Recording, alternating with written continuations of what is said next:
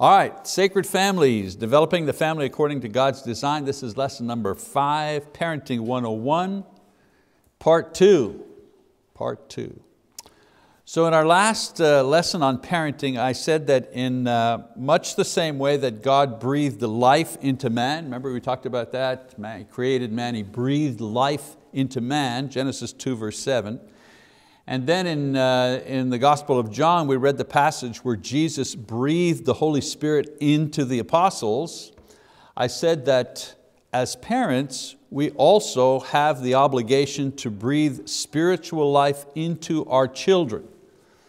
We don't do it miraculously as God did it or as Jesus did it, but we follow that lead, we follow that example and we breathe life spiritual life rather, into our children. And this was done in the following way. I mentioned the first way last week. First of all, we breathe love into them, breathe life, you know, L-I-F-E, first thing, we breathe love into them. Uh, loving your children as God loves you.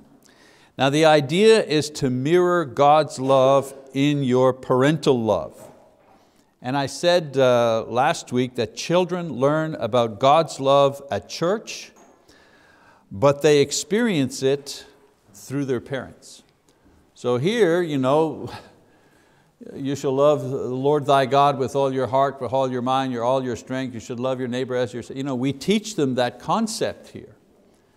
But they experience that concept at home and primarily through their parents.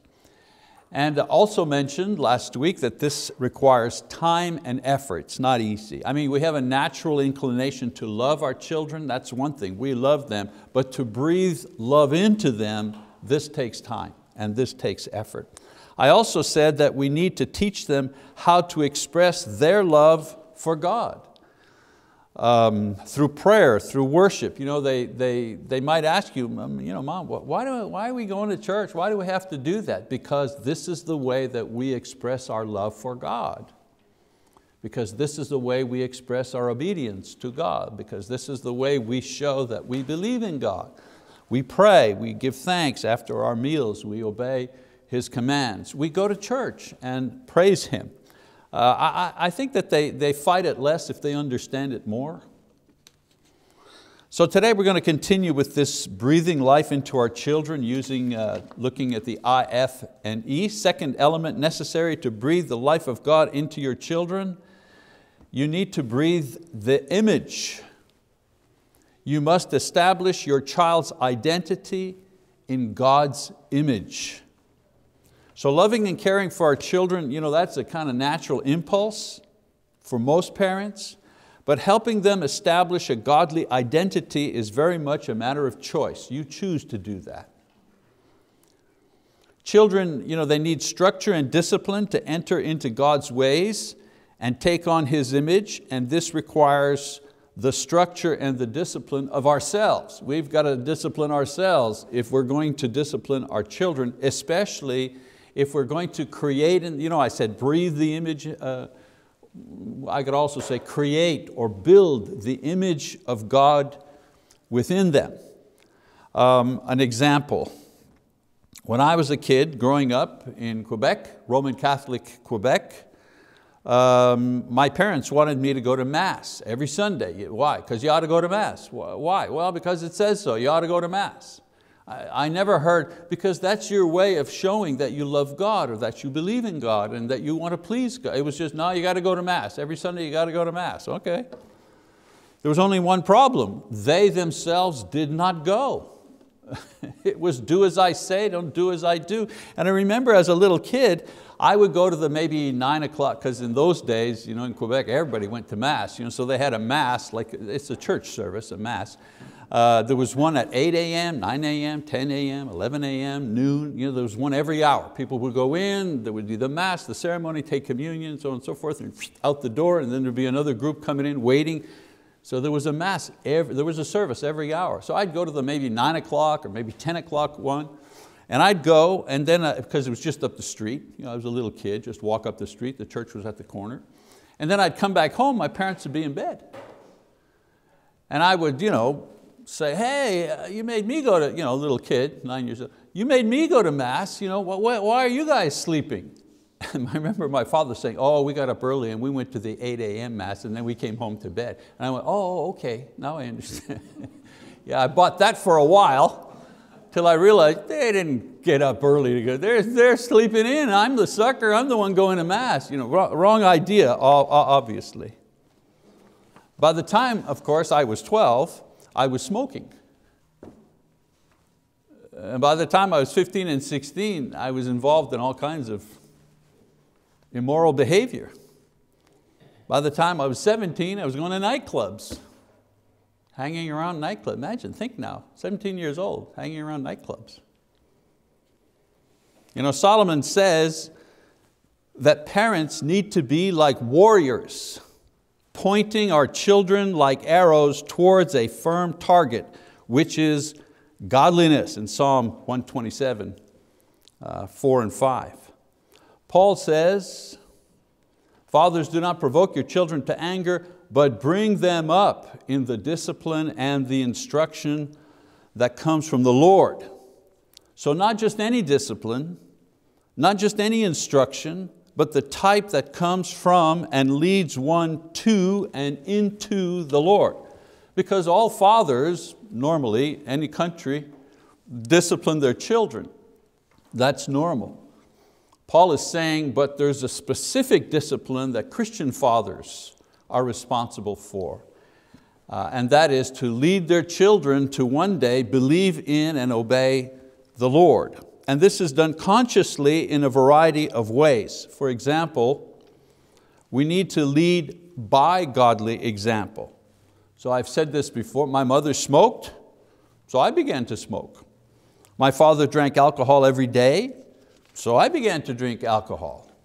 My parents went to nightclubs as their entertainment. I began to hang around nightclubs as well. Uh, you know, I, by the time I was 15 or 16, I was already six foot tall, and if I put on a suit and a tie, they didn't care. If you gave $5 to the doorman, those, back in the 60s, you know, no, they, didn't, they didn't raid nightclubs to kick out minors in those days, and if you didn't cause any trouble, you could go in and drink and you know, do whatever you wanted to do. So as you pursue a godly image, your children will follow. Now they can get the theory about godliness from Sunday school and Christian camp and so on and so forth, but they learn the practical side of godly living from watching you. I've said this before, children do not do what you say, they do what you do, because that's what speaks loudly to them. Uh, another way to breathe that godly image into your child, establish godly traditions. It's amazing to note that while they were in the desert, the Jews' entire life experience revolved around their worship of God. I mean, I know that it gets sometimes a little tedious reading through, uh, not Genesis, Genesis is a great narrative. You know, there's all those great stories about the patriarchs in Genesis. But when you get to Exodus and Leviticus and Numbers, you know, it gets a little repetitious because you know, Moses is you know, uh, explaining the law and the, the, the law of sacrifice and the law of the conduct and, and goes into detail. But do you understand that those people had to obey and, and, and do those things day in and day out while they were in the desert. I mean, they had to prepare the sacrifice daily. Moving, I mean, taking apart the tabernacle and breaking camp. Now, they weren't just 25 guys out in the, you know, hunting, on a hunting trip. Hundreds of thousands of people out in the desert. They had to break camp and pack everything and you know, and then uh, travel and then set up camp and set up the, the tabernacle and continue with the sacrifices. And if, if you touched a dead thing, you know, whoops, you were unclean, then you had to go through the whole ceremony to become clean again. You had to wash, you had to go outside the camp, you had to offer sacrifice, you had to shave your beard, you had to do all kinds of stuff. And then that permitted you to do what? Well, to go back and then you know, offer the sacrifice. I mean, their whole life, there was no business, no business practices, no interaction with other peoples. It was all about obeying God and carrying through the sacrifices. Then there was the Sabbath each week.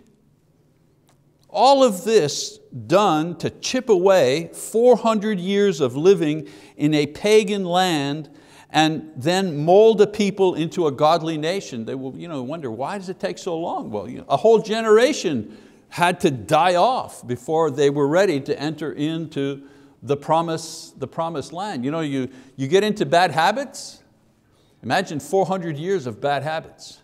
400 years of you know, being influenced by idol worship and pagan living, all of that was chipped away a little at a time, year after year, decade after decade, until they were ready to enter the promised land. So the point I'm making here is the work of breathing a godly image into our children is similar in approach. It takes time. On a daily basis, we mold them with rules and discipline according to biblical principles and morals. We speak the truth to them in love. We discipline uh, in fairness, not in anger. We affirm their individual personality and unique spiritual gifts. We encourage personal devotion and prayer. This is time consuming. It's time consuming and sometimes tedious, repeating the same things over. It's inconvenient. I mean, how, there was a, a young mom here Wednesday, she was visiting. They've moved, you know, they've moved into this area, so she's kind of checking out the congregations in the area. And she was here on a Wednesday night with three children. Not three teenagers who are themselves, you know, they can get themselves to church. Three, you know, one baby and a toddler and a five-year-old, something like that. You know, she, you know, a mom with, she, had, she needed four arms to manage and her husband wasn't here, he was working, whatever. But the point was I, I agreed, hey, how's it going? Fine, you know, and she was wrangling these little kids. You know, I said, well, good for you, Wednesday night, you know, with three little kids. You know, and she, she kind of shook her head and said, yeah, that's what it's like uh, yeah, nothing easy about bringing kids to church at any time, never mind Wednesday, Sunday morning, one Sunday morning, once in a while, sure, every Sunday, every Sunday they come, what a chore. What an inconvenient chore, but it's all part of breathing that, you know, that godly life into them, to the point where being in church on a Sunday is like it's part of it's part of life. It's like Christmas comes on December 25th every year. Well, every Sunday, you know, we, that's what we do, it's what our family does. And what happens when, when we, we, we, we you know, instill that type of duty for worship, uh, habit for worship into them as they grow older, even if they, you know, as they grow into being teenagers and young adults, maybe begin to drift away because they're, looking at other things. It never seems quite right if they're not in church on Sunday. It never seems just quite, you know, I, am all by myself and I'm independent now and I'm paying my own way and I got my own apartment and I've got my own car and I, you know, I see my folks every once in a while. So I'm, I'm the boss of me now, you know.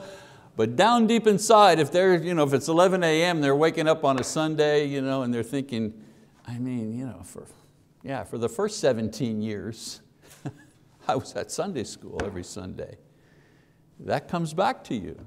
You ever wonder why people who have not come to church for, I mean, for decades, and then all of a sudden something happens in their life, they begin to re-examine their life a little more closely, realize the thing that's missing in their life is a spiritual component when they examine things maybe that have not gone well, or even if their life has gone well, there's just something missing and they just finally realize the thing that's missing in my life is a spiritual component. And they come back, all of a sudden you say, oh, you know, if you've been here, like I've been here a long time in this congregation, you see somebody you haven't seen in 10, well, look at you, what are you doing here? Oh, you know, I just, always the same, it's always, I can almost write the script. I don't know, I just, it didn't feel right. I just decided, you know, it's time I got back to doing what I ought to be doing, to living the way I ought to be living. Really, how did you learn that? Well, my parents, you know, they, they ham, they carve that thing into me and it just won't go away.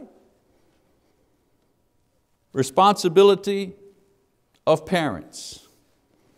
But in a larger context, we also set markers that provide meaning and practice to their spirituality. It's not only you know, uh, building in them a, a spiritual life, we also provide markers. What I mean by marker, like regular attendance, that's a marker. Summer camp, summer camp doesn't sound like a lot. You know, camp, uh, uh, burning, uh, what is it, burnt cabin, that's it, uh, camp is coming up. And kids are going and it's always the same every year. The new kids, oh, I don't want to go. You know, I, am you know, they're shy, they don't, oh, they don't think they're going to have fun. And then you, you know, parents kind of bear down a little and say, no, no, no, no, no. It's not, I don't think I'm going. No, no, no, you're going. I'm driving you, you're going to go, you know, period. And then the day that you go pick them up the following Saturday, oh, I don't want to leave, I just made my best friend. And oh, you know, the, the counselor, I'm in love with the counselor. You know, I mean, they, it's always the same thing. Our kids, Camp Omagh, imagine. Camp Omagh in Montreal, Montreal where we lived in, in Quebec, Camp Omagh, the only Christian camp was 350 miles away in Ontario. 300, not, not a half hour drive to, you know, or 40 minutes to, 350 miles. And they didn't have everybody in one week. They would have like the, you know, the grade school kids one week, that was their camp, then the following week would be middle school, then the following week would be high school, and then the following week or so would be uh, uh, family week. And Lise, my wife, bless her soul, she would take the younger ones who were going to you know, the younger camp, drive that 350 miles, drop them off, pack them in, everything, drive back home on the same day. 700 miles, one day. And then the following week, she would drive back to Omagh, pick up the two young ones, drop off the two older ones for their camp, drive home. Drive back and pick up the older ones, drive home. And then two weeks later, everybody in the car, we all drive to Omagh for family week. You, you want to talk about inconvenience? you want to talk about mileage on that van of ours, that baby blue van? Yet if you talk to our children today and ask, what are, what are some good memories? Oh, Omagh. And I mean, Omagh, are you kidding me? You could see outside from inside. the, the cabins, you know, and this is Canada, folks. This is not Oklahoma. This is Canada. It's, it's cold at night. The camps you know, were just a cabin. You could literally see through the, the wood to outside, just you know, steel bunk beds. That was it, nothing. No chairs, no tables, no nothing, just bunk beds. And, and, and old mattresses. And you brought your linen, you, uh, you slept in those, in those cabins. But they, they loved it. They made friends that they still have today, to this day, that they met back in Omagh. Omagh is a marker. As a matter of fact, 20, 25 years later, there's even talk in our family, hey, let's all get together and let's all drive to Omagh, which is what, 1,500 miles away now. Let's all drive to Omagh for family week. Could you imagine the whole Mazzalongo clan, we're there for family week, you know? And grandpa said, yeah, you guys go to Omagh, I'll be staying at the Holiday Inn, which is just a few miles from the camp. Youth rallies, activities. You know, what's amazing to me is we make our children eat their vegetables. Come on, you got to eat your peas or you got to eat your cauliflower, whatever it is. We make them eat them, but I don't want to. Yeah, but uh, it doesn't matter if you want to or you don't want to. This is good for you. Eat the carrots, eat the peas. You know, you, every parent goes through that struggle, right? The moment the child finds out, oh, wait a minute, my parents really are, it's really in, important for them to meet, for, for me to eat the vegetable? You mean I've got something, I've got control over something? And the, the battle begins, right? And yet we won't, we won't have this battle if they say, nah, I don't feel like going to the youth rally. Nah, I don't feel like going to the youth camp. Ah, I don't feel like going to the youth day. Okay, dear, you get to choose. Why is it that we don't mind uh, you know, exercising our parental authority for them to feed their bodies with good food, veggies, but we neglect sometimes to you know, exert our parental authority to make them eat their spiritual food. You know, for, for spiritual things, they get to decide. Who, who made that rule? We, we, we force them to do things that are good for them. What if your son said, you know what, I'm not into math, so I'm just going to not show up for the first session you know, in high school. I'll just come in an hour late because I don't like math. How, how would you react to that? Well, you know, that wouldn't fly in anybody's house. Well, same thing. If we take as important the spiritual feeding, the spiritual discipline that the children need, that we insist on those things.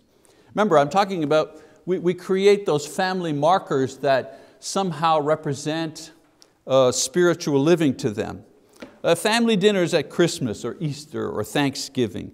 Uh, a tradition uh, that perhaps, a spiritual tradition that is unique to your family and your circumstances. I remember in our family, at the time when all the kids were home and we were taking family vacations together, one of the traditions was that I would prep a devotional for every night that we were on vacation. Not a big long thing, but there was a, you know, a devotional that we would do in the evening when we, uh, we went swimming and we did the vacation. Then at night after supper, we'd do the Devo before we'd do watch TV, go to a movie, do something. And Lise would create like a, a take-home piece, a little souvenir piece based on the devotional that I, that I had presented to them. And there was no fighting about this. The kids saying, okay, it's time for the Devo. And we would do the Devo. And that was the thing that we did as a, as a family. I still have on my refrigerator some of those magnets you know, that Lise made for those devos a long time ago. Um, we need to establish, the point I'm making here, spiritual habits and spiritual traditions that celebrate and constantly remind children that we are God's people. That's my point. This is who our family is. We're God's people. We're not ashamed of being God's people. We rejoice in being God's people. There's an advantage to being God's people. Usually it's these times that they remember best. And we want them to remember them with, with joy. All right, breathing life into your children. So breathe image, breathe love, breathe image, breathe forgiveness, breathe forgiveness. Paul says in Colossians 3, bearing with one another and forgiving each other, whoever has a complaint against anyone, just as the Lord forgave you, so also should you. In any family, this, should, this scripture here should be on the wall somewhere because there's a lot of forgiveness that needs to go on if you live family life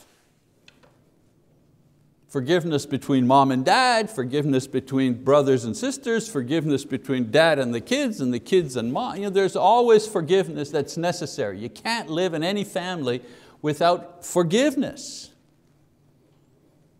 So we need to forgive our child as God has forgiven us. If we're teaching them correctly, we're teaching them that God is a God of mercy, and to breathe the spirit of Him into your child is to help him or her experience forgiveness. They will first experience forgiveness, either receiving it or giving it. The first time they'll experience that thing will be in their own home.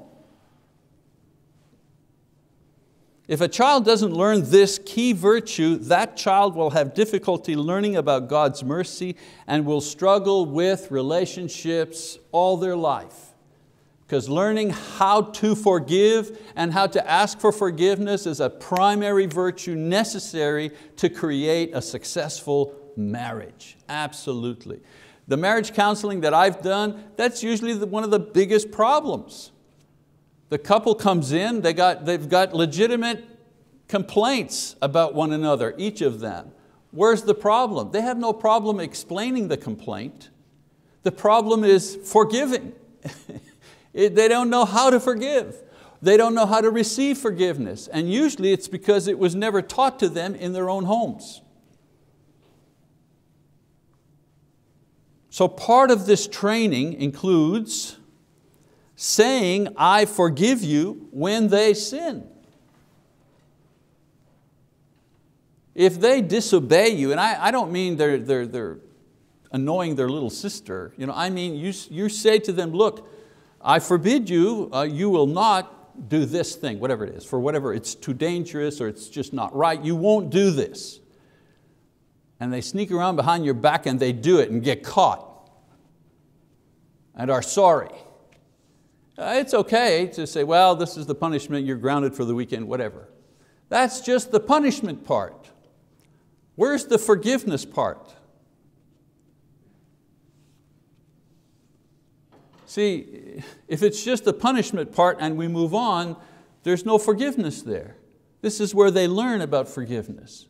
They learn about receive, I'm sorry dad, I'm sorry mom. I forgive you, I, I forgive you. Let's try to do better next time. Also, uh, let's, let's not hold on to their past wrongs. A lot of time parents, yeah, I forgive you, and it moves on, and two days later, they're kids, remember, they're kids. They do the same dumb thing. Or sometimes three months later, they do the same dumb thing. And sometimes parents, well, there you go again, you know, and throw it right back into, you know, if you forgave, then you can't go back and you know, dig up the old stuff and just slam them with it. You can refer to it, but you can't use it as a stick to beat them with. Parents are the ones that need to model saying, I'm sorry, please forgive me. That's where they learn that. That doesn't come naturally to themselves. I remember once uh, in the house, I forget why, just, anyways, I was in a bad mood for some reason or other and I got angry and I kicked the chair. I just, and I kicked the chair and I cursed. I used the bad word right, Julia? I used a bad word. I used, the, I used the word that has four letters in it. It was terrible of me to do that. And Julia was there. And all of a sudden, I, the minute, you know, you dads know, the minute it came out of my mouth, I went, oh man, you just, you just, you know, you just lost it, son, you know, talking to myself. And Julia, I could hear Julia running through the house, mommy, mommy, daddy said a bad word, mommy, every, hear ye, hear ye, you know. I was done. But I remember, I remember bringing the kids together. I remember, first of all, apologizing to Lise. That was wrong, I'm sorry, please forgive me. But I remember saying it to the children as well. What daddy said, that was wrong. That was uncalled for, there's no reason for it. It is a bad word, and I'm going to try harder in the future to avoid saying that when I'm angry. And I'm going to even try to not be angry so easily. Well, where will they learn that? They're not going to learn that from the superheroes that they watch on TV. They're not going to learn that from quote, Minecraft or something. They're going to learn that from you. Parents, grandparents. And listen to their angry feelings. Don't get angry because they're angry. That was what, how it used to be in my house. I don't mean my house with my children, but that was the way it was in my house with my parents. If I was angry at some, about something, whether it was at school or my best buddy you know, has now found a new best buddy you know, and I was angry, the response was, you must not be angry in this house. Anger will not be tolerated in this house. so what do you do with anger if it's not tolerated? Well, you just swallow it, right? You swallow it and you keep swallowing it and you keep repressing it. Well, what happens one day? Well, you have ulcers when you're 21 years old. That's what happens. Listen to their angry feeling. Listen, what are you saying? I hear you shout and I hear you're mad, but tell me, uh, okay, what's going on? And discuss with them biblical examples of forgiveness. You want to do a Devo with your kids? Oh, I don't know where, where would I start? You know? Start with the, the, uh, the parable of the prodigal son. Every child will understand the, the, the, the parable of the prodigal son. It's a wonderful teaching opportunity. Explain the process if there is time. You know, when there's a crisis in a child's life, that crisis obviously creates tension and creates angst in them. But that crisis also produces a teachable moment. A moment where you can imprint on them some important lesson. That's what a teachable moment is, a time where you can imprint on them an important lesson. So if, the, if, if there's a moment of crisis, if the only thing that they get out of you at, at, a, at a teachable moment is yelling, or your anger, what have they learned? Well, they learned to respond to those kind of moments with anger and other negative responses. train them in the process of forgiveness. Here's the process of forgiveness. I could do another 40 minutes just on this, but we don't have time, but at least I'll give you the slide. What is the process of forgiveness? It's not just saying, I forgive you. There's a process. First, you talk it out. What happened? A brother and sister. Well, you know, I lent her my, whatever it was, and, and she said, uh, and then she broke it. And then I got mad and I hit her. Uh, okay. Well, I had it and I didn't, I, you know, I was going to give it back to him, but I didn't do it on purpose. You know, it wasn't like I went out and just broke it on purpose. I, I just left it there and then it slipped and fell and it broke. Talk it out. Accept responsibility. All right, you know, I, will replace it. I, you know, I, you know, my next four allowances, I'm going to put them aside and I'll, I'll try to replace it. Ask for forgiveness. I'm sorry. I didn't do it on purpose. I know it was your favorite thing and you lent it to me and, I, and it's broken now, so I'm, I'm sorry for that. I didn't mean to do that, but I'm sorry that, that it broke. The other side. Okay, well, I'm not happy, but I forgive you. I, I realize you didn't do it on purpose. Receiving forgiveness. Thank you reconciliation. Are we friends again? Are we okay? Yes. Renewal. Let's go outside and play. There's a process. Eh, they have to learn the process if they're going to be able to, to use it. And believe it or not, this process is exactly the same for adults, countries, you know, nations that are war, this is exactly the same process, exactly the same steps for every type of conflict. The thing about children is they have a more innocent heart, so they're more willing, if they're coached, to kind of learn it. It gets more difficult as you become adults because pride gets in the way and, you know, and all those kind of things get in the way. And for countries, even more difficult. But this is always the same, same thing.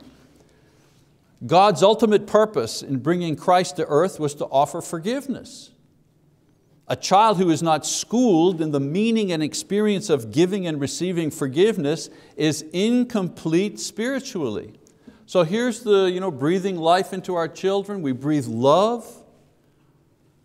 We breathe identity. In other words, we form the identity of Christ in them. We teach them about forgiveness because that's, that's such an important tool in the box, in the toolbox of life, learning how to ask and, and give forgiveness. And then the fourth one, breathe enthusiasm. So the fourth element necessary in breathing spiritual life into your child is enthusiasm, what the Bible calls joy. Now the English word enthusiasm comes from the Greek word entheos, which literally means in God. In God.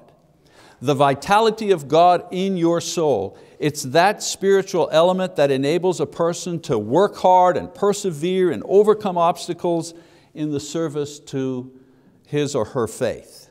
It's what Nehemiah had as he led the Israelites in the hard and dangerous and discouraging work of rebuilding the wall, for example, in Jerusalem, what did he say to them?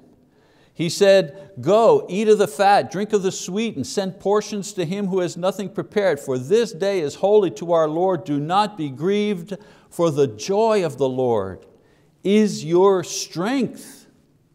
And then Paul says to the church, rejoice in the Lord always. Again, I will say, rejoice, Philippians 4, 4. Enthusiasm and joy is the pleasure we experience when our hearts are in tune with the Lord. In other words, you know that feeling you get when you've done the right thing in a difficult situation, that, uh, that exhilaration that you begin to feel? It was a hard decision, but I did the right thing despite all the, I did the right thing. That thing you feel there, that's, that's joy. That's joy. Children must see and learn that their faith is the cause and the source of joy in their lives, not simply rules, laws, restrictions, and certainly not money and things. Some people, the only religious training that so many people receive when they're young are only about rules, the law. It's as if we teach our children only the law, uh, only the Old Testament. We teach them only, if you sin, you die. You know, that's the only law they know. And we don't move on to the New Testament, where God forgives us of sin and we live in grace. Again, there are practical ways parents can cultivate the spiritual environment around and in their children so they can actually feel the enthusiasm produced directly by their faith. In other words, we have to show children that something good comes about because of our faith. If the only thing they see about our faith is, oh no, you can't do that, that's wrong. Oh, well, what kind of God is that? They have to also see joy and happiness and strength and satisfaction because of faith for them to want to pursue faith when they leave home. So how do we do this? A couple of ideas, lots of ideas. Model enthusiastic faith and service. There's a component of joy that is essentially viral. You catch it from somebody else. If there's no enthusiasm for spiritual things coming from parents, there won't be any for the children either. They catch it from you. They catch it from you. B, encourage Christian friendship. As children grow, a lot of their behavior and attitudes will be influenced by their friends. While you can, breathe into their lives every opportunity for them to bond with other Christians you know, church activities, camps, rallies, school, Christian hospitality of other Christians.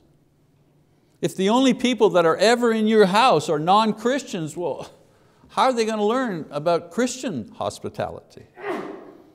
And let your children know that you expect them to marry a Christian one day. That was always the expectation in our home. We can't, as parents, we can't control that.